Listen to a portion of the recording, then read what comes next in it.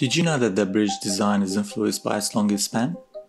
Let's say you want to build a small bridge, then you can go with a simply supported beam, which can go anywhere from 20 to 50 meters. However, if you want a slightly longer bridge, then you can go with a box girder bridge, which can go up to 90 meters. While an arch bridge longest span can go from 50 to 550 meters, which might look impressive compared to the first two bridges.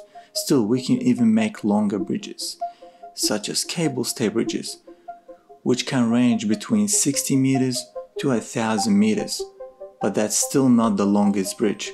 The longest bridge we can make is a suspension bridge, which can go anywhere from 100 meters to a whopping 2 kilometers, which is perfect if you want to build bridges over water.